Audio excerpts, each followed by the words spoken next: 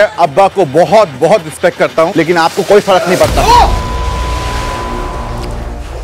Hello everyone so yes I am out of the big boss house and मैंने अपने park कर लिया एक जगह पर जहाँ पर I can be alone and understand what just happened I was on a wonderful state और मैंने बहुत कुछ बोला।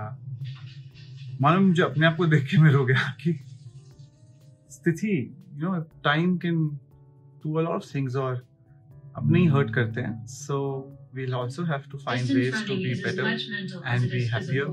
So I'm gonna find a way, and I'm sure I will crack it. Uh, it's fine. I did make a mistake, so I got punished for it. On his social media, Vikas Gupta has shared a video message accepting his mistake, and he said that one should hustle to find a way to be happier. In the latest turn of events, Vikas Gupta has been ousted from the Bigg Boss house after he pushed Arshi Khan into the swimming pool. The rules of the house state that no housemate can use any form of physical force or indulge in any sort of violent behavior during their stay in the house. जो अपने माँ की बेइज्जती करता है उसको दुनिया के अंदर रुसवा होना ही पड़ता है ने जो अभी किया है ना अर्शी खान इस घर में मैं तेरा जीना हराम करूँगा अब ये ले तुझे जो करना है कर ले समझ में आया उससे ज़्यादा गंदी और कोई नहीं है अबे हट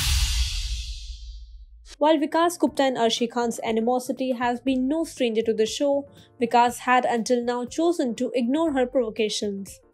However, he lost his cool when she took digs at him and dragged personal matters into the game. Verbal spats soon turned violent, and the hot headed Vikas was seen pushing Arshi in the pool. Bigg Boss then reprimanded the two for their behavior on the show and showed Gupta the exit door. And that's not all. Singer Rahul Vaidya, who had quit the show recently after feeling homesick, is all set to make a comeback on the show following a unanimous decision by all the housemates and a hot question answer round with none other than Salman Khan. Going by the promos, Kashmera and Rubina would be getting into a war of words over a task tonight after Kashmera blocks Nikki from pulling it off successfully.